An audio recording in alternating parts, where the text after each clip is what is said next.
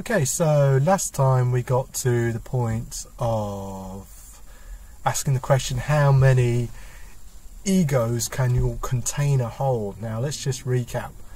I am a container for egos. I am not an ego, I am a container for egos.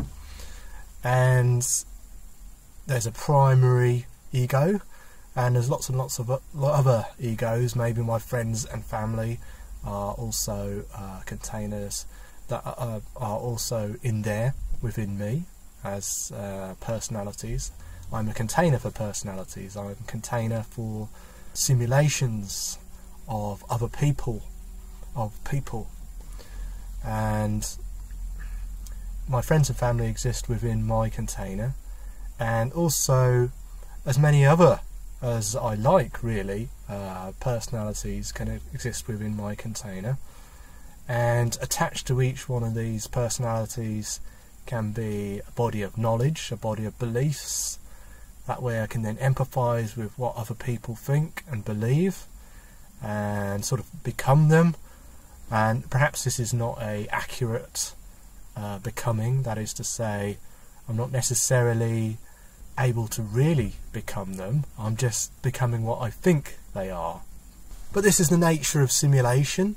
Uh, it is imperfect, it is imprecise, this is accepted an accepted part of simulation and it's a basically a best guess about how people will respond in any given scenario and situation. So these little simulations are not the people themselves, obviously they are just simulations based off my knowledge of these people. So the question was, is there any kind of upper limit on the number of these personalities that I can simulate, uh, contain within my container? and obviously, I think to a certain extent, uh, some of it depends on the size of these uh, personalities. And by size, I mean uh, how complex an understanding have I managed to form of these people? Is it a very simple understanding of them, or is it a complex understanding of them? And when I say complex, I don't mean like deliberately trying to be just complex for the sake of being complex, but I mean complex in the sense that people are complex and they have like many ins and outs, and no one has, uh, no one is just a sort of cartoon character. So the complexity of the character and it is probably a factor in the amount of space that they take up within the container. And this is a bit of a guess, to be honest, but it would seem logical. So it's easier to store sort of cartoon-like characters within my mind than it is to store actual real-life characters within my mind. And I think this is kind of what people tend to do anyway. They tend to oversimplify their opinion of other people, whether that's true or false. Some people like to project a very simplistic, cartoon-like version of themselves. But in any case, it seems to me that the most efficient uh, way of storing these personalities, if you're just trying to get a sheer number in there, is to store them as very oversimplified cartoon-like personalities. And this is fine, but it doesn't really answer the question. In fact, I don't really think you can definitely answer what the upper limit is. You can sort of think about maybe what's practical. So if you think about what's practical, it would seem that if it's possible, the most practical practical thing to do is, is to store these simplified personalities. In any more complex personality that you need to be able to simulate, just mix up these simplified personalities into a different mix. So some people might be, you know, personality type A and a little bit from personality type B with some personality type C thrown in, whilst others might have a different mix of personalities. And that way you only have to really store the personalities and the nature of the mix of those personalities. In a conflict, perhaps, uh, of those personalities, which would win out? which is uh, more dominant, which is slightly less dominant, which is the, the, the personality which is the least dominant. And so you can use these sort of fragmented cartoon-like personalities and combine them into a complex personality.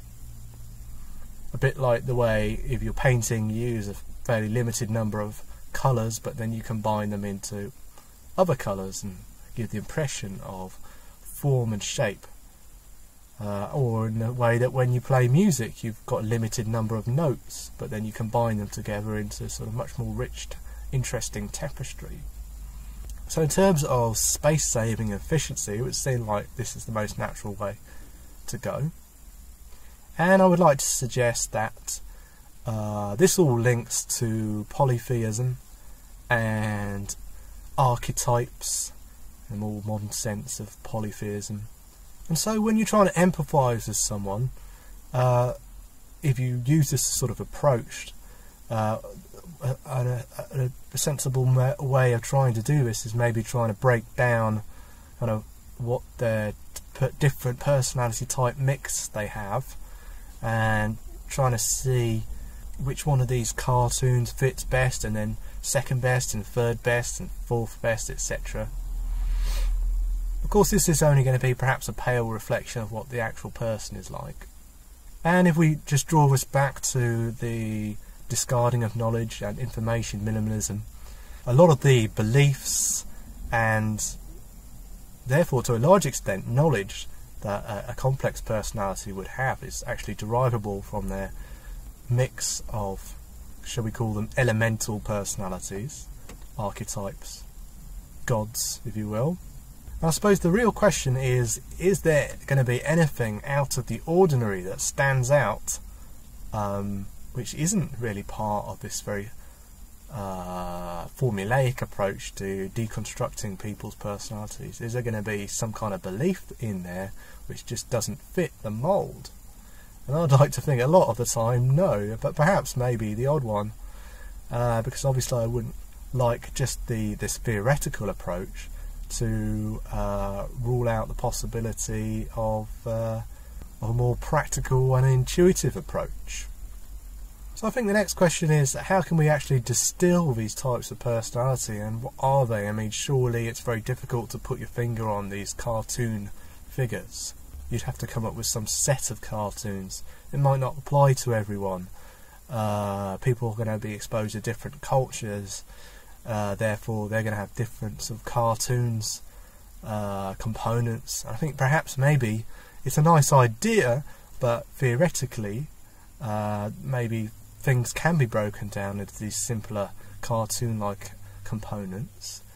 Um, but perhaps in reality that is uh, an oversimplification. However, having said that, these cartoon-like components probably do exist in your mind, in your preconceptions and limited way of thinking.